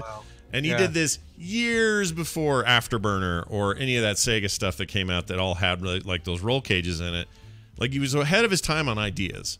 Kind of terrible at the execution, or at least the timing of the execution. So Mhm. things kind of kind of pooped out. But had he, I think, had he seen that stuff coming more clearly and more early, he may have shifted gears as to what his plans would have been. Yeah. But Yeah, I was, I was just always curious because it was like, well, if, you know, it seemed like it came as a surprise, but I didn't know if he had seen it early enough to even contemplate opening up a, a game store. no, I think it was like a momentum thing. You know, like I think he could have, would have. Mm-hmm. Um, but he was so so invested, and there was so much momentum behind. Like we now own this warehouse. We now have these bunch of employees. Like this is the direction we're going. Come hell or high water. Mhm. That the the hell and high water came, and uh, slowed everything down and killed it. Yeah, yeah, yeah. It's kind of a bummer. I was only you know uh, in this range. I was something like between thirteen and fifteen during this phase, and um, through all of it, I was kind of I was dumb. You know, I didn't know any better. I wish I had my brain now, like what I know now. Oh, yeah. we, we'd have, we'd have totally refocused and gone a different direction. There's no question about it. But it's still the saddest thing that ever happened about any of this was that he put 350 unused cabinets, brand new cabinets, with controls and everything, all set to go, CRTs in them as well. Put them all in a warehouse or put them all in a um, storage unit, and then after he passed away, he didn't tell anybody we had the storage unit, and they stopped getting payments, and my mom didn't know about it, so she wasn't paying it, and then they just auctioned off all these cabinets, and I was so Wow. sad because just think what we could have done with those. We could have just maimed them out, sold them, painted a bunch of them, done some like custom art ones. Like I could have gone bananas. And the CRTs alone, because people want like legit Mhm. CRTs now. Yeah, they'd be right. worth so much money right now. Ah, it gives me heartbreaking. Yeah, it gives me Yeah. gas. I have gas right now because of it. I have gas. Well, now you, think Scott, you you need to for other design. You need to design custom artwork for people who are doing their MAME. Yeah, MAME that's cabinets. that's true. I am still, uh, whether it kills me or not, I'm still going to do a full size. the one with Steve. Sure, sure. It's your it's your Chinese democracy. It'll Well, happen. or you know, this the, like the one that Brian Nukem built. You know. Mm-hmm. do the original art, sell that stuff, charge people for that. Yeah, Uh, I- people will buy it. I wanted to kickstart like small, not this tiny, tiny ones like Brian has. Um, oh, I have to ask you about that. Did you ever ship that? Did you ever send me that little Oh one? no, I've got it over here, sitting next to me. It's all right. Don't only do it when you have an excuse, like you have other things to send or something. But anyway, uh, I want to do like something in the middle range, like about this big, but have it be accurate size, but big enough joysticks and balls and stuff so it doesn't feel like they're tiny. And I Mhm. want to kickstart that, and I want to do custom art on the side, and I'll make space murder cabinets and like these, you know, fake arcade machines that never existed because we're not going to get any licenses or anything, and just put a Raspberry Pi and a freaking SD card slot in there and sell them. I would do. Oh, I want that to be our business. I would do that in a heartbeat. That would be so cool. TMS just becomes a place to shill it. That'll be it. anyway, uh, this has all been well and good, Steven. It's been fun hanging out with you, man. All right, we'll hang out again in about a half hour. Yeah. comic dorks. Don't uh, don't forget, everybody, head on over to uh, Steven's website, majorspoilers.com. It's not only just a bunch of great content and posts about comics and everything pop culture, but there's tons of podcasts. Yep. Some of it like OG, the I, as far as I'm concerned, the OG D and D podcast ever. Yeah, not not the original one, but definitely one of the uh, one of the early ones. One of the Yeah. first ever. ND. Yeah, there you go. Yep. And uh, it's all good. So do check that out. Major spoilers on Twitter. Steven, have a fantastic day. Stay hydrated. Bye now. All right. Awesome. You know, all this time later, Skype still doesn't um, have a way to mute sound. Isn't that dumb? Oh, that is yeah. This- We're talking like a year since this happened. Oh, Skype. Yeah, you they just can- broke everything, and you don't seem to show any signs of wanting to fix it. Is No. Is it because they're focused on their new business version of Skype? You think? I th- have a feeling it must be. I mean, I don't know what else would be. Like, they literally have an option in here under notifications to turn them off. It just Right, doesn't do it anything. Does nothing. Yeah. Oh, I have an app I should tell you about. What is it? uh, What's it called? It is Sound Source. You can mute individual programs. Um, and it's made by the um Wait, is it the, not the audio hijack guys. Oh, I was gonna say, is it that because they have a thing that's similar to uh, wire wire? What was that? It's thing? Rogue. Yeah, it is. It's Rogue Amoeba. Yeah, and it's called uh, Sound Source. All of a sudden, I'm hearing a weird echo. Is that me doing that? I don't know. Might be. Oh. What are you doing? Weird. All right, I'm going to turn this off, and then I'm going to turn it back on. Okay, way better now. All right. Um, yeah, Sound Source allows you to mute or redirect the sound from individual um, apps. Oh, there it is. Oh, interesting. Yeah. Oh yeah, look at that. Oh, that I looks. use this I- Loopback to do all the things I had to do with physical cables on my iMac to do Coverville streaming with Twitch and, and all that on a single machine. I ought to look at both of these. Yeah. I still haven't installed. I have Loopback, but I haven't installed it. It's great. It, Yeah. I'm, I'm, yeah, I've, uh, I love it now. I love it, Scott. I do you love it, Brian? Do you love it? I do. I do love it. Scott. Great. Well, then, love this. I'm going to read an email. Ron from Seattle. do. He wrote in says, uh, "Hi, I'm Ron from Seattle," and he's speaking of Polish jokes. He says, "Scott, I used to work with a bunch of Ukrainians, and I explained that in the '80s we told Polish jokes. They informed me in Ukraine that everyone makes fun of Moldova. I asked for an example, and they gave me this gem: a group of guys sitting around a bar after work, and a Ukrainian guy loudly says, "Hey." Why can't Moldovians eat pickles from the jar? Because their heads don't fit in it. And at this point, a male Moldovian stands up, all offended, and says, Why is it so funny? Your head all- does not fit in either. Ron in Seattle. So there you go. It's the That's Mol- awesome. it's the So- Moldovians that Moldavians. Moldavians are the Polish, uh, the Polacks of the Ukrainian world. There you go. Everybody's got their own version of a Polak joke. It's just not always Polish people. And I still don't Yeah. really understand why Polish people were the target for us, but I don't either. Yeah. I think it's because they let they let um I shouldn't say let's it's more complicated than that, but they basically let Hitler in. Like they just kind of let him waltz in and you know cleanse the joint, and it seems like a dumb thing to let somebody do. I think that's where it came from. Pure speculation on my part. I have no idea. I could probably look it up. I'm lazy today. I'm not doing it.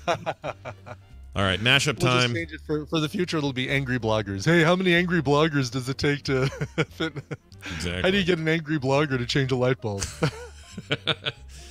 Exactly. All right, I'm going to play a mashup. This is from Jamie over there at TMS Mashups, patreon.com slash TMS Mashups as well, if you want to help that guy out. He sent this one in. It is the Monday mashup, and he calls it Rehab Shark. Okay? Oh, okay. Rehab. I don't remember this at all, so we'll see what this says. Here we go. Are you prepared to receive my limp, limp, penis, penis, penis? Slowly Flapping Bird is my failed Slowly- iOS game. Didn't go well. That was such a bad iOS game. Yeah. It just drags along the ground and hits the first barrier. So Oh. slowly flapping. It's really hard to do. we came alongside him, and the driver appeared to have fallen asleep. If they really want to tweak everybody's uh, anger bean, here's what you do. That doesn't sound. That's not good. What I just said, is it? Tweaking the Probably beat. not. Sure. Tweaking the anger bean. Go do the quest where you have to kill 50 people. That sounds good, but maybe first I come in there and we have a sex. ah, yeah. Ooh, wow. I still pop it out and play with it though. What? This I still other- pop it out and play with it. Yo, Though. I said it. Whoa, you did say it. Never take it back. I like it when my balls hit to the beat. Balls hitting at the beat. That's right, son. Druggy shark. Doo doo doo doo doo doo. Druggy shark. Damn it, Jared. Do you not know how the Baby Shark theme goes? By He's the having a hard time finding the rhythm. Let him go. It's funny. I like baby it. shark. the baby shark. That's so not it at all. Charlotte bon- Bonnet's Bron- Bronte's hair. Who the hell's that? Just gotta wear torso, Elaine. I can't date her. I can't date her. Her It's not torso's wrong with her weird. torso. Look how long it is. Snowballs and Peter Jennings. Coffee for you. Chicken for me. Oi, I got me finger up me bum. You got a Brazilian in uh, downtown Vegas. Yeah, I got. Did it at the axe throwing uh, place called the Axe Hole and just had them uh, That was axe wound. No, oh no, it's not an axe wound. Don't say that, jeez. Had an axe hole waxing. Oh gosh, we were just getting to the point where uh, Brian was going to describe his thing, and then you popped in. Yes. So let's. Um, His thing? yeah, he's going to describe Uh, his thing. Jamie, Hey Brian, why don't you describe your thing for I'm us? going to describe my movie. How's that? Okay. Uh, Rehab shark doot doot doot doot doot doot doot. Pretty close. You're getting there. You're getting closer. Keep Doot practicing. doot doot doot doot. No. Doot doot. doot, doot, doot, doot, doot, doot. He baby shark, do do do do do, baby shark, do do do do. I don't know how it goes. I hate that song. I forgot he struggled with that so much. He really. Said- For a while there, he was doing uh, Stevie Wonder's part-time lover. That doot doot doot doot doot doot doot. Oh, doot, yeah. doot. He's a part- Oh, now I'm thinking of the wrong song. Part-time lover. Oh, yeah, that's right. I was thinking she's an angry lover. Or no. Oh yeah, no, that's Philip Bailey and Phil Collins. Yeah, that's right. I heard that this weekend. The two Phils. Yeah, we listened to a lot of Peter Gabriel this weekend. No other. Except that was that was Phil Collins. No, I know, but we read, we listened to a Oh, okay. lot of Peter Gabriel. It just reminded me of it because they both Did sing you? for. Okay. Uh, Cool. uh, Yeah, they're both Genesis. Genesis. Uh, He, he, dude, is he the most like that guy? I don't care who you are, what age you are, you can enjoy Peter Gabriel like right now. You can just sure. sit down, you can listen to his music and go, ah, this is good. Whatever I'm listening to is good. The whole album. So I mean, again, one of the one of the greatest albums, front to back. Yep. Just one great song right after another. Red Rain and Don't Give Up and Sledgehammer and Big Time and So good. ah, so, good. We also listen to a lot of Sheryl Crow for some reason. Sometimes I get- Really? Yeah. Well, you know, if it makes you happy. Some Somebody told me she wrote that, uh, wrote or performed that. Uh, uh, they say they paved paradise and put it in a parking lot song. Do you know the one? She definitely didn't write that. Yeah, it's Joni Mitchell wrote that one. Uh, it's called Big Yellow Taxi. And to my knowledge, Sheryl Crow, I don't know of a cover of that song by Sheryl Crow. Okay, because I kept somebody kept saying, "Yeah, she did that." I'm like, "No, I don't think she did. I think that's She, a different." didn't do it she certainly didn't do it originally. She might have done it from something else, but and there's another band who sings it that more popularly in like the '90s. There's a cover. Counting Crows uh, and uh, Vanessa Carlton. Carlton, yes. So that's probably it. They're confusing the crow part with the counting crows and Sheryl Crow. Oh, that's totally it. Yes, Yep. they're they're yes, that's Finally, exactly it. I don't Yeah. usually get resolution on weird shit. This hap- this fixed. this is all good now. It's all good. 100% nailed it. Yep. This this case is closed. We can go to the next Law and Order episode and not have to worry about what who did it. Farmer, farmer, put away that DDT now. There was Keep always all just- the apples, but little birds and the bees. They always oh, like sound that like they're endurance, crying, Actually, like a bunch of cats. Don't you think? Mr. Jones and me. This is kind of Don Knotts now. Oh, Go through the stereo. Andy. Wait, look at the television, Andy. Andy. Andy. That's fantastic. Uh, all right, we're gonna take our leave. Check this out. You can email us just like that person did, uh, Ron, earlier with his Polish joke thing. You can send us an email to morningstream at gmail.com. You can support us, and we wish you would, over at patreon.com slash TMS. And as always, uh, uh, frogpants.com slash TMS. will get you everything else you need to know. Uh, that's it. I think we're done. Brian, do you want to play a song? I will play a song. I have to move the cat so I can see the song description. So I'm going to hold the cat as I give the description. Well, you've literally moved Catwoman, is what you've done. I've I've moved Catwoman. Yep.